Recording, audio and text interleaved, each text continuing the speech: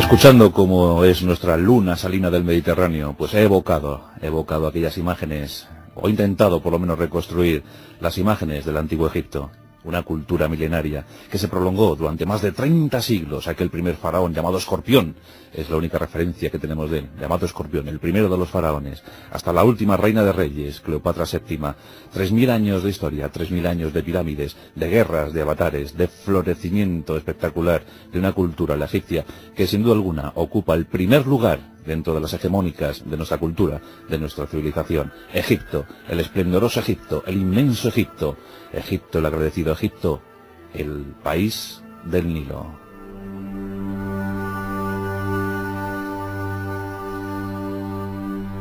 ¿Cómo debió ser aquella singladura por el Nilo? Julio César y Cleopatra, escoltados por más de 400 naves, 400 naves en torno a la gran nave real, esa nave real espectacular que tenía Cleopatra. Una nave cuyo mascarón de proa estaba envuelto, cubierto por el oro puro. Dicen que los remos eran de plata y las velas de púrpura. Y esa singladura se prolongó durante dos meses, dos meses de amor apasionado. Y acaso de ese amor nació un fruto, Cesarión, Ptolomeo César, el pequeño César. La historia de Cleopatra es la historia de la decadencia final de Egipto. En el tiempo de los grecorromanos, en el tiempo en el que los tolemaicos gobernaban aquel país inmenso. La despensa del Mediterráneo, la despensa del mundo conocido por tanto. Cleopatra era fascinante. ¿Y por qué no? Era hermosa. Aunque Plutarco dijo de ella, su belleza no es incomparable, pero sí en cambio su inteligencia. Todos la adoraban, todos la admiraban y todos la criticaban y la denostaban, sobre todo en el, en el romano, en el Imperio Romano, en la República del Imperio Romano. Su gran detractor, Cicerone, no la soportaba. Otros llegaron a decir que era sin duda la reina de las rameras. Pero Cleopatra, su figura, su imagen, su estilo, su personalidad se impuso a todo eso. Y perduró a lo largo de los siglos. Ya lo dijo Pascal. Si hubiese tenido la nariz un poquito más respingona, un poquito más corta, esta mujer hubiese cambiado la faz del planeta. La importancia de Cleopatra. Esta noche en nuestros pasajes de la historia, Cleopatra VII, Cleopatra Filopator.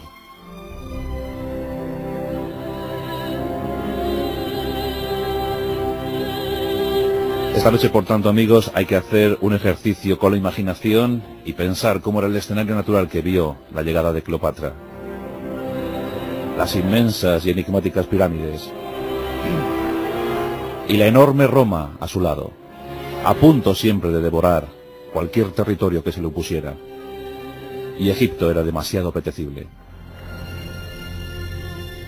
En el año 305 a.C., llegaron los hombres de Alejandro Magno y establecieron su poder en Egipto. Alejandro había llegado a Egipto y lo había conquistado, y había establecido su capital en Alejandría. Alejandría era una ciudad enorme, magnífica, 300.000 ciudadanos libres, y a estos había que sumar a los esclavos, a los mercenarios, a los mercaderes. En total, se puede considerar que Alejandría llegó a contar con una población de un millón de habitantes, y un millón de habitantes para el siglo I Cristo era mucho habitante. Ahí estaban los templos, ahí estaba la gran biblioteca de Alejandría, con 700.000 papiros, el equivalente a unos 100.000 libros de hoy en día. 100.000 libros donde se albergaba, todo el saber, toda, toda la sabiduría de la época, los conocimientos ancestrales del antiguo Egipto. Se cuenta que había una enciclopedia, una enciclopedia escrita por Magnetón, la historia de Egipto en 30 volúmenes. ¿Os imagináis? Era como el Larousse de la época. Ahí se contaba todo. En el 305 llegó Ptolomeo I, estableciendo su dinastía, la dinastía de los Ptolomeos. La dinastía Lágida, los Lágidas. Era algo tremendo, increíble, maravilloso. Alejandro, como bien sabéis, había muerto sin llegar a cumplir los 33 años había muerto víctima de las fiebres, pero uno de sus generales, Ptolomeo, se quedó con Egipto. De allí se cuentan historias asombrosas que algún día narraremos. Ya las contamos en su día cuando hicimos Alejandro Magno. En cuanto a cuántos eh, Ptolomeos hubo, pues siempre hay disputas, como bien sabéis. No nos ponemos de acuerdo en la numeración.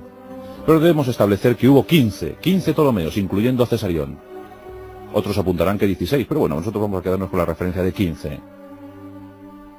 Y como os digo, se establecieron en el 305 a.C. Su dominio, su mando, se prolongaría hasta el 30, 30 a.C., cuando murió la eterna reina Cleopatra. Estamos navegando y profundizando en la historia, en la historia final de una cultura. Y eso es importante. Porque Egipto lo marcó todo. Por tanto, el siglo I se consolida como uno de los fundamentales. Y en ese siglo, como lo hemos propuesto en nuestra, encuesta, hubo hombres eh, vitales. Mario, el dictador cruel y sanguinario Sila, el enorme Julio César, Pompeyo, Octavio Augusto, Marco Antonio. Pero en Egipto los Ptolomeos iban haciendo de las suyas. Y aquí tenemos al padre de Cleopatra, llamado Ptolomeo XII, Ptolomeo XII, para otros Ptolomeo XI, para otros Ptolomeo XIII, pero nosotros nos vamos a quedar con el XII. Ptolomeo XII no es que fuera el mejor de los gobernantes, llegó al poder en el año 80 a.C. Dicen que lo que mejor sabía hacer era tocar la flauta, por eso pasó a la historia con ese nombre. Ptolomeo XII, el flautista. Sí, desde luego era lo mejor que sabía hacer, eso y hacer hijos, claro. Tuvo una buena prole, una buena descendencia. Lamentablemente ninguno de sus hijos llegó a ser mayor, ninguno llegó a la edad adulto o a la edad de veterano. Su mujer era Cleopatra V. Y tuvo varios, por ejemplo Berenice IV, Cleopatra VI, Cleopatra VII, nuestra protagonista de esta noche. Luego Arsinoe, que Arsinoe también tuvo mucho que decir, Ptolomeo XIII y Ptolomeo XIV. Pues como os digo, ninguno de todos estos llegó a morir de muerte natural. Todos murieron de alguna manera, siempre bien por un hermano, bien por el padre. Una historia difícil la de los Ptolomeos. El propio Ptolomeo XII eh, no era ni siquiera legítimo, dicen que era bastardo. También se habla de, Cleopatra VII como hija bastarda de Ptolomeo XII. Pues bien, en estas estamos cuando Ptolomeo XII pierde el poder y su hija Berenice IV llega a ese poder. Y Ptolomeo XII tiene que huir de Egipto. Huye de Egipto y pide ayuda a Roma. Roma era la constante. Siempre se hacía con un territorio bien por conquista o bien por herencia. Había unas herencias muy extrañas. Cuando moría un rey local, solía dejar eh, curiosamente en herencia su país a Roma. Los sobornos siempre estaban a la orden del día. Y Ptolomeo XII decide sobornar o decide pagar y sobre todo prometerle eterno tributo a Pompeyo. Pompeyo era uno de los hombres fuertes de Roma. Por tanto, Pompeyo ayuda a Ptolomeo XII a recuperar el poder. Berenice IV se opone, efectivamente, se opone enérgicamente, pero no consigue hacer frente a las huestes de Pompeyo y de su padre y el propio padre ordena ejecutar a Berenice. No, no, que no os sorprenda porque era lo habitual en la época. Berenice IV muere ejecutada por orden de su padre. Berenice IV ya se había encargado de ejecutar a su hermana, a Cleopatra VI. Por tanto, el camino estaba libre para que Cleopatra VII llegara al trono. Y eso se produjo a la muerte de Ptolomeo XII, en el año 51 a.C. Aquí tenemos a una esplendorosa Cleopatra VII con tan solo 17 años en el poder. Eso sí, había una exigencia, y esa exigencia la impuso su protector, su tutor, que entonces era Pompeyo, y le impuso que se casara con su hermano menor. Tan solo tenía 10 años Ptolomeo XIII, pero se casó con Cleopatra y los dos gobernaron Egipto. Cuenta la leyenda negra que Pompeyo se puede considerar como uno de los primeros amantes de Cleopatra VII. Pero ¿qué sabemos de la infancia de Cleopatra?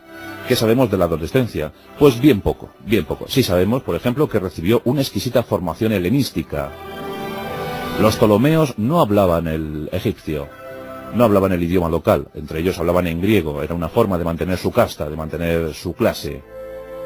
Pero Cleopatra estaba especialmente dotada para la lengua, para las lenguas y aprendió el egipcio local. Eso se hizo que se granjera el afecto de su pueblo. Pero no solo habló egipcio local, no solamente habló griego, habló hasta nueve idiomas. Nueve idiomas y un número incontable de dialectos. Era muy inteligente, tremendamente inteligente. Por supuesto que estudió los clásicos de la época. Era una adelantada en matemáticas, en astronomía, en economía, en la guerra también, era una buena estratega. Era una personalidad eh, muy fuerte la de Cleopatra VII. Dicen que hablaba el árabe. Cuentan que dominaba a la perfección el hebreo, por supuesto el griego, claro que sí, el arameo y el latín. Y dicen que una de las principales virtudes de Cleopatra era su voz, una voz perfectamente modulada, que la utilizaba como nadie. Era una voz sensual, que llegaba al fondo del alma del interlocutor que estuviera con ella. Era una voz cantarina. La sabía utilizar muy bien. Ella era consciente de su virtud. Porque eh, cuenta la historia que Cleopatra era bellísima, pero no es así. Lamentablemente no es así. Aunque para todos nosotros Cleopatra seguirá siendo Elizabeth Taylor, ¿verdad? Cleopatra no era de una belleza sublime, pero su inteligencia lo cubría todo. Sí que tenía una buena figura. Cuentan de ella que era rubia, con la tez blanca. Otros dicen que era morena, de tez oscura. Otros incluso dicen que era negra. Y en cuanto a lo de la merena, pues ya os he dicho, rubia, morena, calva, llegaron a decir. Lo que sí hizo Cleopatra siempre a lo largo de su vida fue manejar perfectamente todo lo que tenía a su disposición. Ensalzaba su figura, provocaba que su belleza fuera más gracias a la cosmética. Por ejemplo, tintaba sus venas con eh, la pintura azul. También eh, provocaba en su cara pues un alarde de, belleza y de glamour con polvos de la época, con estupenda cosmética, también con los mejores eh, accesorios, en fin, que, que, sabía sacar partido a todo lo que tenía. Ya os digo que no es que fuera muy guapo y muy alta, pero desde luego lo que tenía lo aprovechaba muy bien y sobre todo la inteligencia dominaba lo demás. Y es que que una mujer del siglo I antes de Cristo tuviera tantos conocimientos sobre tantas cosas era muy difícil. Cleopatra VII siempre eso lo tuvo en cuenta y lo manejó a la perfección. Así que políglota, instruida, eficaz, se prometía una buena gobernante, y por eso empezó a actuar al margen de su hermano Ptolomeo XIII. Ptolomeo era un niño y siempre se quedó pues aislado de las decisiones de gobierno. Pero los griegos miraban celosos a Cleopatra. Los asesores de palacio no estaban conformes con lo que estaba haciendo Cleopatra y empezaron a instigar, empezaron a confabularse. Ahí estaba Aquilas, el gran general egipcio, y Aquilas no veía de buen grado la, llegada la presencia de Cleopatra, y empezó a poner a su hermano Ptolomeo XIII en contra de la hermana.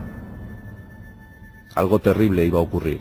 Mientras tanto, Cleopatra había organizado muy bien su reino.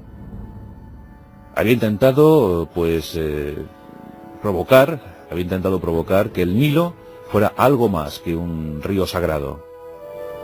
Y los cultivos empezaron a florecer. Los cultivos se organizaron y el pueblo egipcio dejó de pasar hambre. Cleopatra lo estaba consiguiendo. Cleopatra estaba ya casi considerada como una faraona, la última de los faraones, la última de esa casta. Sí, era de origen griego, era de origen macedonio, pero también muy apegada a su pueblo, muy apegada a su tierra, muy apegada a su río Nilo.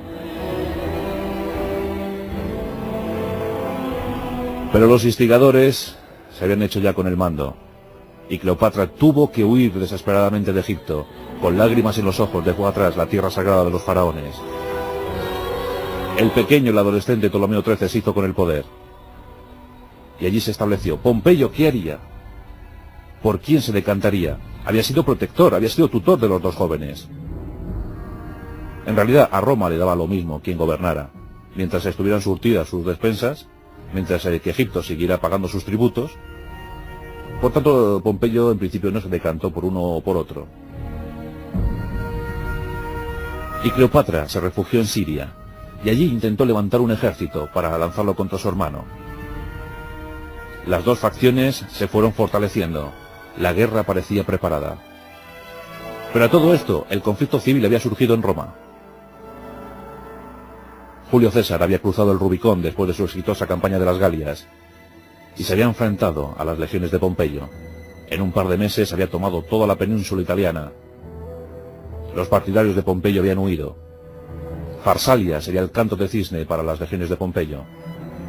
Pompeyo huyó, dejando a sus hombres a merced de las tropas de César. Y Pompeyo huyó a su antiguo protectorado. Buscó asiento acomodo en Egipto, y allí le esperaba Ptolomeo XIII, pero Ptolomeo XIII no estaba por la labor, y sus asesores menos. Pompeyo llegó a Egipto y fue eliminado por Ptolomeo XIII, fue asesinado, fue ejecutado. A los pocos días llegaba César. César se encontró con el horror. Su antiguo amigo, su antiguo amigo, su querido Pompeyo, había muerto a manos de los egipcios, y eso no lo pudo soportar. Ordenó grandes pompas, grandes fastos, en honor, en memoria de su antiguo aliado. Sí, habían combatido en el campo de batalla, pero eso no quitaba para que el cariño se mantuviera. Incluso Pompeyo había sido su yerno.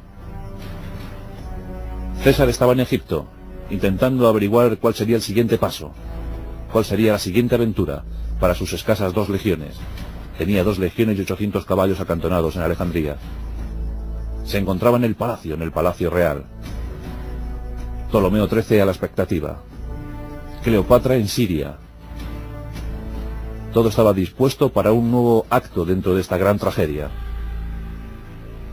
Julio César ve estupefacto como un hombre hercúleo, de nombre Apolodoro, incursiona en el palacio. Aquí hay dos versiones. Una dice que llevaba una, una gran alfombra enrollada. En la entrada dijo que era un regalo para César. Otros dicen que era un saco. Pero cuando Apolodoro llega ante César y desenrolla la alfombra o abre el saco, la imagen que se le ofreció a César fue, desde, luego, increíble impactante. De la alfombra o del saco surgió una hermosa joven. Estamos en el año 48 y Cleopatra tiene 21 años. ¿Os podéis hacer una idea? Ante César, la belleza, la magnitud de Cleopatra. Esa misma noche la pasaron juntos. Dicen que una pasión desbordada. Por supuesto que César eligió la opción de Cleopatra. Claro, Cleopatra era muy lista y se apuntó al ganador de la época. En ese año 48 iban a ocurrir cosas terribles para Alejandría. Ptolomeo XIII no estaba dispuesto a que su hermana saliera con César, y por tanto ordenó cercar el palacio. Todo estaba dispuesto para la guerra, y la guerra estalló, la guerra de Alejandría, la considerada como guerra de Alejandría. Cleopatra tenía muy pocos seguidores, y César muy pocos legionarios. En consecuencia, César pidió ayuda al exterior y mientras tanto se, fortificaba en el palacio. Ordenó quemar la flota. Y en esa quema de naves también sucumbió la eterna biblioteca de Alejandría, perdiéndose cantidad enorme de tesoros. Pero César estaba aguantando. Veinte mil hombres de Ptolomeo XIII rodean Alejandría. Pero llegan los refuerzos para César. Y comienzan las batallas, comienza la guerra. La eterna guerra, siempre la guerra. A Ptolomeo XIII no le va nada bien. Y pierde esa batalla. Cuentan que en la huida, intentando vadear el Nilo, Ptolomeo XIII cae a las aguas del Nilo y el Nilo se lo devoró. El Nilo, exigiéndole un tributo postrero, se lo comió. Reconocieron a Ptolomeo XIII por su coraza de oro. Allí murió el joven faraón. Allí murió el joven rey. Año 48 a.C. Año clave en la historia de Cleopatra. Julio César, por supuesto, estaba casado. Estaba casado entonces con Calpurnia. Pero, mm, claro, la opción de Cleopatra era muy saludable. Ya os he dicho que esa singladura por el Nilo fue increíble. Luminosa, tremendamente luminosa. De ese amor, de esa unión, nació su hijo Cesarión, el único reconocido, el único legítimo de César. Una historia de amor, Cleopatra al lado del hombre más poderoso del mundo. Y César también le juró amor por siempre. ¿Os podéis imaginar esa nave, esa nave real de Cleopatra surcando las aguas del Nilo? Esas noches inagotables, inacabables. El veterano general, el veterano militar, encontró un momento de paz y de sosiego. Y ese se lo procuró Cleopatra, desde luego. Los mejores vinos, las mejores viandas, los mejores momentos de amor. Dicen que el mejor amor de la época. Ese es el que obtuvo César, Julio César. En el 47 nacería Cesarión, un niño que vivió tan solo 17 años, pero que llegó a ser corregente junto a su madre. Una historia de pasión que tan solo duró cuatro años, desde el 48 hasta el 15 de marzo del 44, cuando en los idus de marzo murió a los pies, curiosamente, de la estatua de Pompeyo. Otro tutelado de César, Bruto, fue el que dio el golpe final, el golpe de gracia, al que había gestado, como arquitecto, todo un imperio. El que sería considerado un poquito más tarde, un par de años más tarde, como Dios, divinidad de Roma, Julio César. Pero es que Cleopatra ya empezaba a considerarse también como una divinidad, como la nueva Isis. El vestuario, el fondo de armario de Cleopatra era el mejor, sin duda alguna, del mundo antiguo. En el año 46, eh, Cleopatra había acompañado como concubina, según decía Cicerón, a César hasta Roma. La llegada de Cleopatra a Roma fue de lo más vistoso que se había visto. Roma a los pies de Cleopatra. Todos quedaron admirados ante la belleza magna de Cleopatra. Imaginad el vestuario, imaginad el maquillaje, el porte. Julio César estaba exultante. Vamos, se le salía el corazón del pecho de Ojalata, de la gran coraza romana. Durante dos años vivieron en Roma. Ya sabéis que Julio César se consideraba como descendiente directo de la diosa Venus. Por tanto, se había juntado un descendiente de la diosa Venus con la nueva Isis. Más poder no se podía admitir. Y junto a un palacio dedicado a Venus se establecieron. Y allí Julio César ordenó levantar una estatua de oro dedicada a Cleopatra. Fueron tiempos felices, la felicidad inagotable para la pareja. Pero como os digo, en el 44 se acabó todo. Cleopatra, sintiéndose pues eh, perjudicada, sintiendo que su vida corría peligro, sobre todo la de su hijo, que era el único descendiente legítimo de César, pues eh, huyó, huyó de Roma. Eso sí, pidió la protección de Marco Antonio. Marco Antonio era el, el hombre de confianza de César. Marco Antonio era bruto, sí, era bruto, era, tenía, era carente, tenía carencia en los modales, pero era guapo, era enormemente guapo. Marco Antonio era muy guapo. Dicen que era un militar eh, de escasa táctica, de poca estrategia, pero que su decisión, su valentía siempre le había dado muy buenas victorias. Marco Antonio ofrece la protección a Cleopatra. Era lo mínimo que podía hacer en memoria a su gran general César. Y Cleopatra vuelve a Egipto. Y vuelve con sus naves engalanadas. Y su pueblo la espera, la espera con, con incluso frenesí, con ansiedad, porque las cosechas habían sido muy malas y el pueblo egipcio estaba de nuevo pasando hambre. En Egipto, como siempre, se estaba gestando la tragedia. Pero que Cleopatra, cuando llegó, lo ordenó todo. Y durante un par de años estuvo de nuevo considerando que su reino debía prevalecer ante todo. Egipto debía prevalecer ante todo. Egipto era lo más importante. Y sobre todo a su lado estaba Cesarión. Y ella pensaba, secretamente confiaba, en que su hijo algún día gobernara el mundo conocido. A ella Cicerone y los críticos de la época se lo habían negado. Ya os digo que la habían considerado como reina de las rameras, pero para su hijo, que era el fruto, el único fruto de César, todo estaba por llegar. Las disputas internas en Roma seguían, y el imperio estaba gobernado ya por un triunvirato. Lépido, que se había establecido en el norte de África, Marco Antonio, el hombre fuerte de Roma, que había ocupado el oriente, y Octavio, el sobrino de César, el que sería llamado Augusto, que se había quedado con Roma y toda la Europa occidental. La tensión era más que evidente. Y Cleopatra no se terminaba de decantar ni por uno ni por otro, siempre intentando jugar a la estrategia, siempre intentando jugar a la diplomacia, eh, estableciendo relaciones con unos mientras que daba dinero a otros.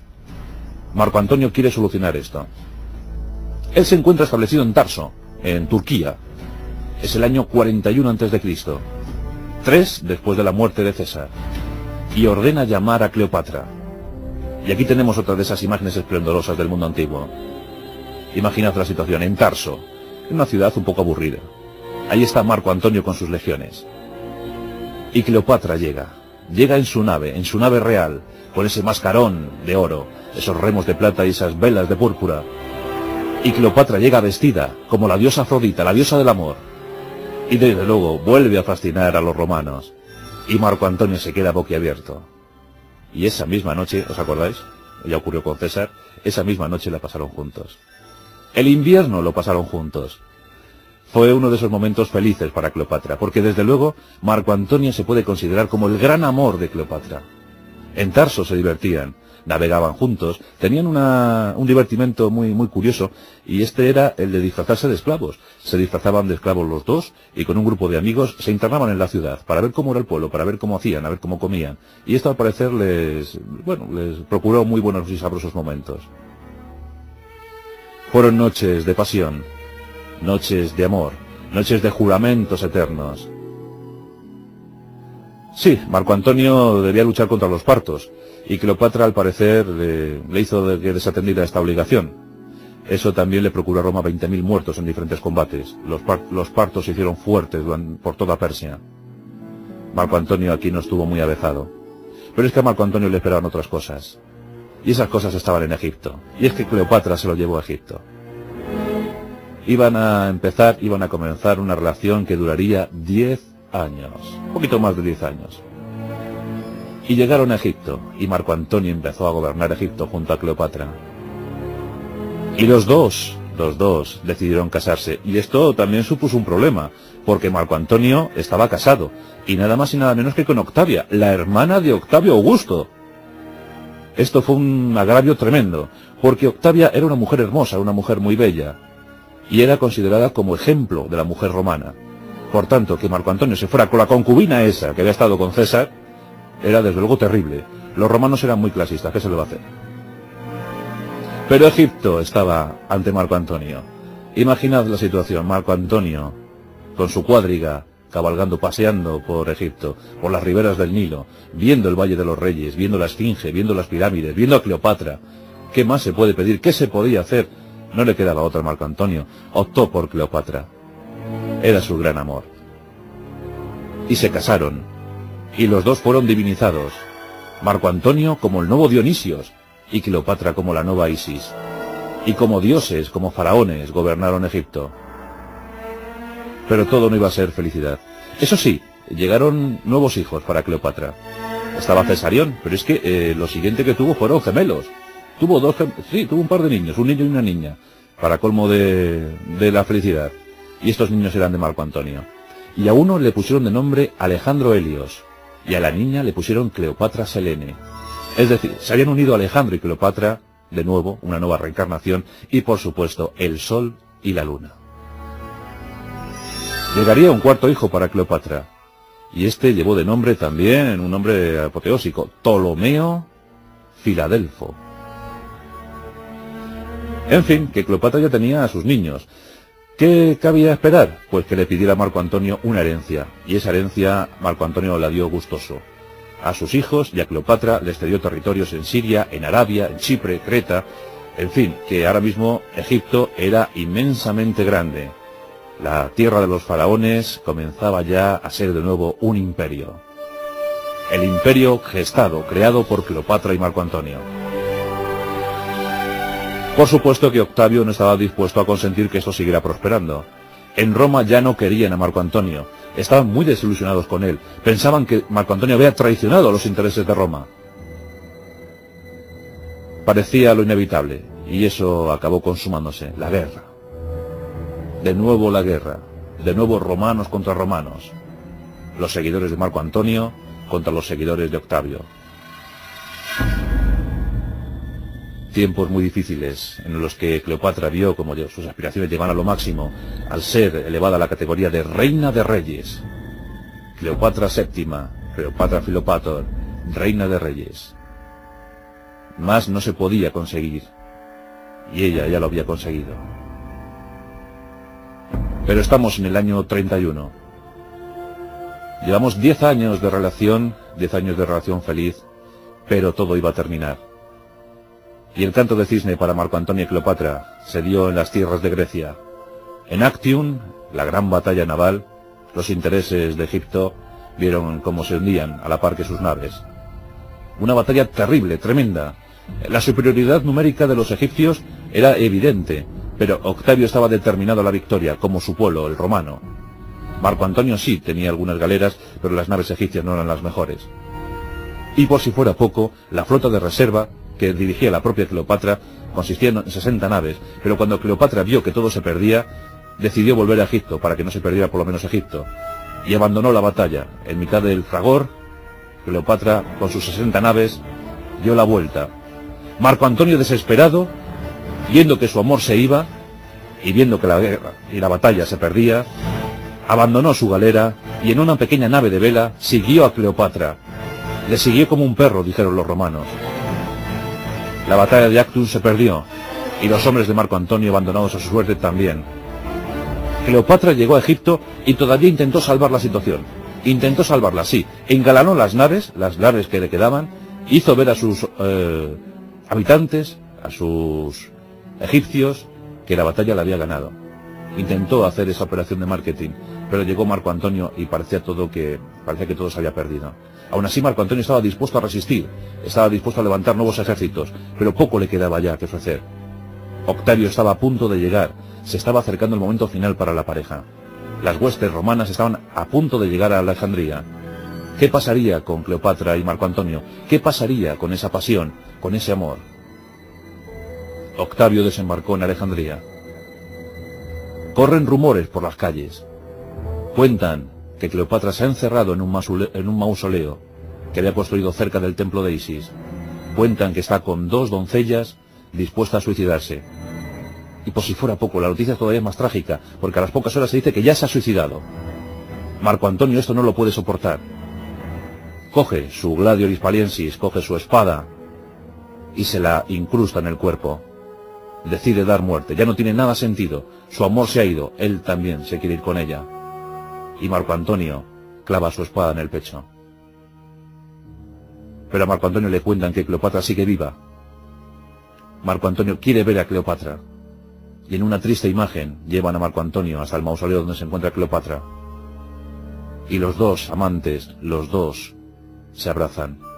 Dicen que la escena final fue de esas de auténtico mm, teatro romano, de auténtico teatro de la, de la época antigua. Cleopatra llorando sobre el cuerpo casi yermo de Marco Antonio. Dicen que en un acto sublime de amor, Cleopatra rasgó su pecho y con la sangre embadurnó su cara para unirla a la cara de Marco Antonio. Se unió la sangre de, de, Cleopatra con la sangre de Marco Antonio. Y en brazos de Cleopatra murió Marco Antonio. Poco le quedaba ya por hacer a Cleopatra. Sí, la idea del suicidio se había extendido ya por su mente. Octavio quería apresarla a toda costa. Quería hacer de Cleopatra un escarnio. Quería llevarla a Roma y pasearla por las calles, encadenada. Cleopatra no lo podía soportar. Su dignidad se lo impedía. Y a tres días de la partida, a tres días de la marcha, mandó llamar a sus doncellas. Iras y Charmión. Esas eran sus doncellas favoritas. Esas eran las leales, las escogidas, las que siempre habían estado a su lado. Iras y Charmión hicieron pasar un cesto de higos, de enormes higos. Y en ese cesto, un áspid, una cobra egipcia. El veneno era letal. Cleopatra vistió su traje real, el mejor de sus trajes, cubierta por el oro, y suavemente depositó el brazo sobre el cesto. Y del cesto salió el áspid, y el áspid la mordió suavemente, con delicadeza. Cleopatra sintió la llegada del veneno, y se postró en su tálamo real, y allí como una reina esperó la muerte. Sus doncellas siguieron la misma suerte. Iras y Charmión también murieron junto a ella. Octavio se había enterado y apresuradamente llegó a palacio, pero ya nada pudo hacer. Dicen que cuando entró en el aposento, la vio postrada sobre la cama y que algo conmovió al que sería emperador de Roma. Todavía quedaba una, una doncella viva. Aún quedaba una doncella, y le dijo, cuánta belleza, ¿verdad? Y la doncella le dijo, más es imposible. Lo último que hizo la doncella fue ceñirle la corona a la cabeza y morir junto a su reina. Octavio accedió al último deseo de Cleopatra, y este lo había dejado escrito en un papiro. Deseo ser enterrada junto a mi amor, junto a Marco Antonio. Y los dos fueron enterrados en el templo de Isis. Ahí fue el final, el 12 de agosto del año 30 a.C. Ahí terminó la historia de la mujer que marcó sin duda alguna una época. La historia de Cleopatra VII, reina de reyes, la última de los faraones de Egipto.